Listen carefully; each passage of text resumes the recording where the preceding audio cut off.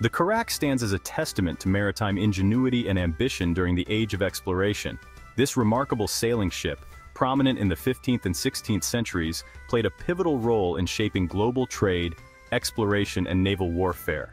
Its ability to navigate treacherous seas and transport vast quantities of cargo made it the vessel of choice for European powers seeking to expand their horizons.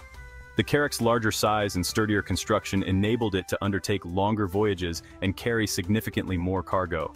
From the legendary voyages of Christopher Columbus and Vasco da Gama to the tragic sinking of the Mary Rose, the Carrack's story is interwoven with tales of daring exploration and maritime disasters.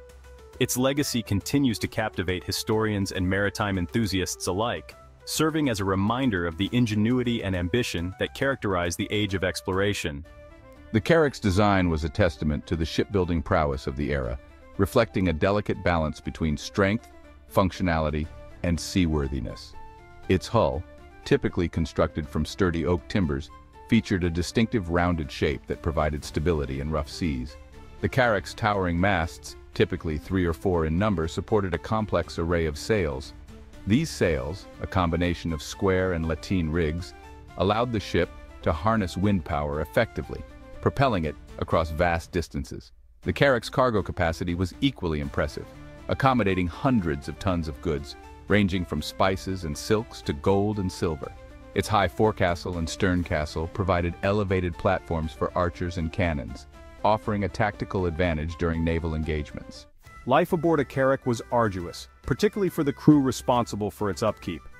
Maintaining a wooden vessel at sea, constantly exposed to the elements, was a relentless battle against the corrosive effects of salt water and marine organisms. One of the most pressing concerns was preventing leaks. The Carrack's hull, despite its robust construction, was susceptible to springing leaks, particularly in rough seas. Crew members worked tirelessly to pump out water that seeped into the bilge. Protecting the hull from rot and marine borers was another constant challenge. Shipworms, notorious for their ability to devour wood, posed a significant threat, to deter these pests, a mixture of pitch and tallow was applied to the hull's submerged portions. The crew's ability to keep the ship seaworthy played a crucial role in its success, ensuring it could withstand the rigors of long voyages. The Carrack's arrival on the maritime scene coincided with a period of unprecedented expansion in global trade. European powers sought to establish direct trade routes to the east, bypassing traditional land-based routes.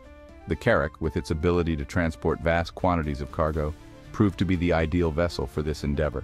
Its arrival in Lisbon laden with spices from the East Indies heralded a new era in global trade. European explorers aboard their sturdy carracks returned home with tales of distant lands and exotic customs.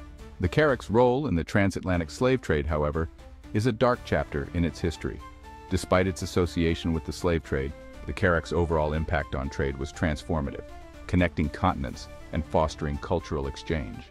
The Carrack, while primarily a merchant vessel, also played a significant role in naval warfare during the Age of Exploration.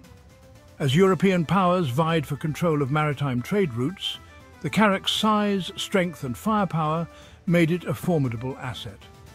Early naval battles often involved boarding actions, where opposing crews grappled hand-to-hand -hand on the decks of their ships.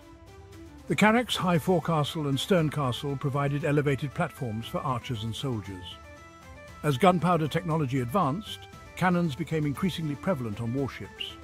The Carrack, with its sturdy construction and spacious decks, could accommodate these heavy weapons, transforming it into a powerful floating fortress. Despite its eventual eclipse by the galleon, the Carrack played a pivotal role in shaping naval warfare during the Age of Exploration. The annals of maritime history are replete with tales of famous carracks that embarked on extraordinary voyages. Christopher Columbus's flagship, the Santa Maria, holds a special place in history as the vessel that carried him across the Atlantic in 1492.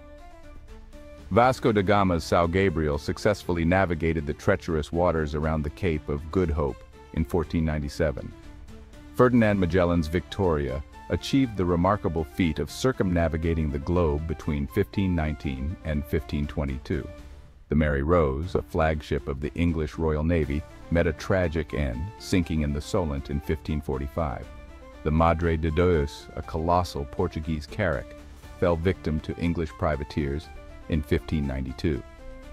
These famous carracks, each with its own unique story, embody the spirit of the age of exploration, expanding European horizons and transforming global trade.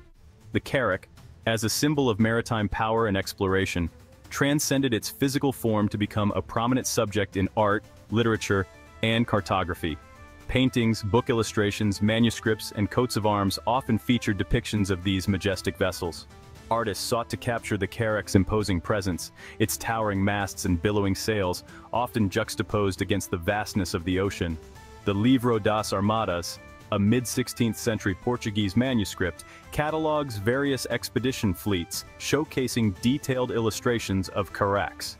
Carracks frequently graced 16th and 17th century maps, illustrating their prevalence in global exploration.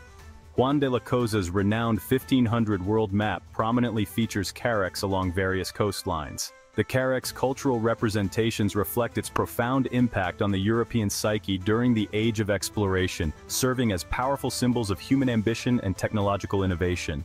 Please like and subscribe to the channel.